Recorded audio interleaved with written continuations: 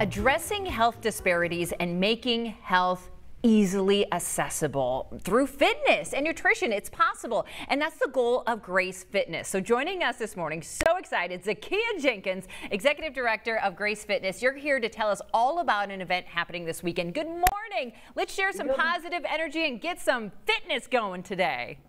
yes, good morning. Hi, Jackie. Thanks for having me. Um, yes, I am having a community health fair uh, this Saturday from 10 a.m. to 2 p.m. at the Caremore Clinic, 1530 East Euclid.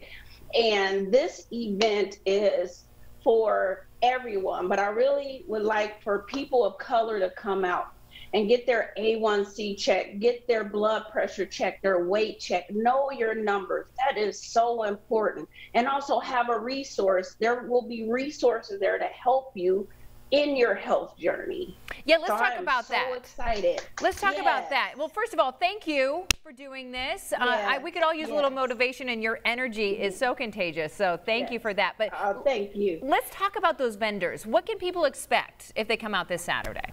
Yeah, so this Saturday we're going to have Veggie Thumper. She is um, all natural and vegan, and I want to give people the opportunity. If you are unable to use your own money to try healthy foods, try it on Grace Fitness so you could taste what uh, a good healthy meal is like. That's affordable.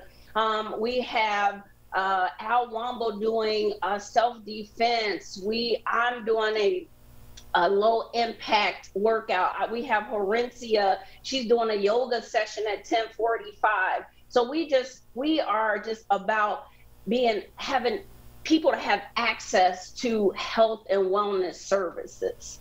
Yeah, just showing that there is that opportunity out there. And you had me at yes. Veggie Thumper because she is so good. And that food, you might you might hear healthy in the background, but it tastes so good. So I challenge people yes. to go out and try it for the first time. You will be hooked. Uh, but I also understand yes. you are promoting education uh, uh, with this when it comes to fitness and even uh, along with getting vaccinated as well. Can you talk a little bit about that?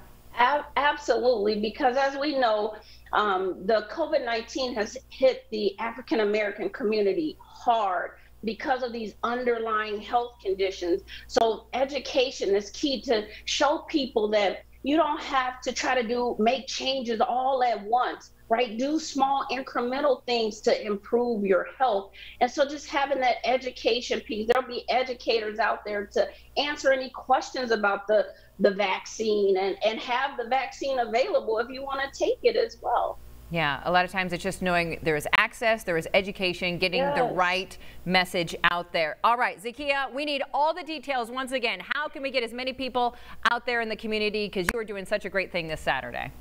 Thank you so much. Please come out. It is at the Caremore Clinic, 1530 East Euclid from 10 a.m. to 2 p.m.